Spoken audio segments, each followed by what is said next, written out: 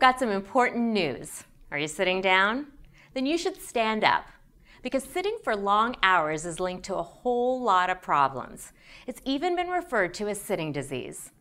Studies have tied too much sitting to high belly fat, heart disease, blood clots, high blood sugar, cancer, and even death. And unfortunately, exercise can't undo the harm of sitting all day long.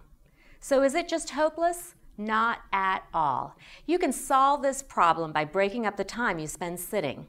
Set a reminder on your phone at work if you need to.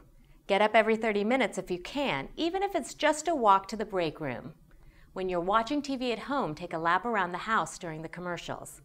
Take a stand for your health. For WebMD, I'm Dr. Arefa Cassoobhoy.